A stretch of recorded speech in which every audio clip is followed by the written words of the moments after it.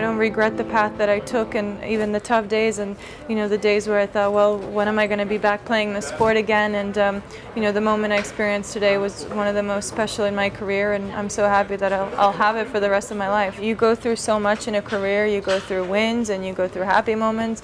You go through tough losses and matches you should have won, and, and you think, oh, when is when are things going to happen for me again? When am I going to get better? And you know, you get to this point where you achieve it again and you think that, you know, those days were so tough and it was so difficult, but everything is worth it because I think you, you learn so much from those days. You learn a lot from losing. You know, you learn it puts so much perspective in your eyes. You know, you're, you're eager to go back and get better.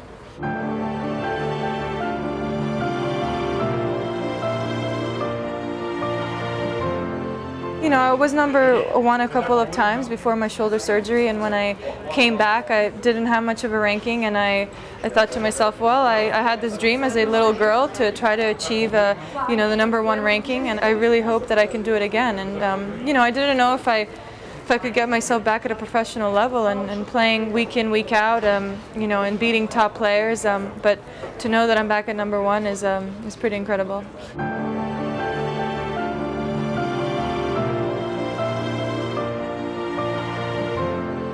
I miss competing. You know, I miss being in those situations. I miss seeing my name in the draw of a tournament. It was, um, it was just something I really wanted to get back. There's no, no better feeling in the world than being in situations where you're, you know, five all in the third set, and whether you're playing great or not great, it's only you and your opponent. It's about you trying to win that match, and it's the most incredible feeling.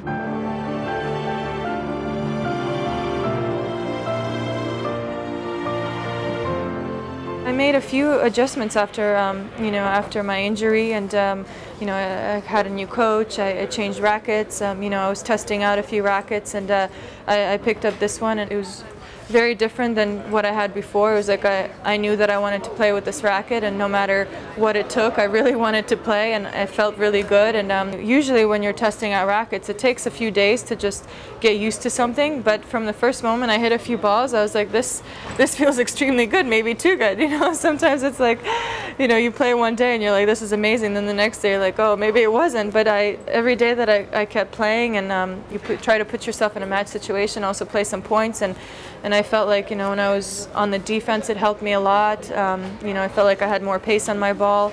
Um, so those little things, you know, I, I really enjoyed.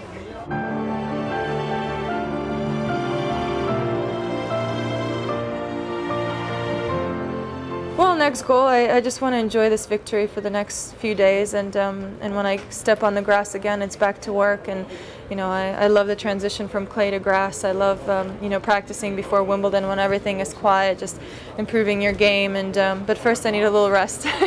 that's that's on my mind right now.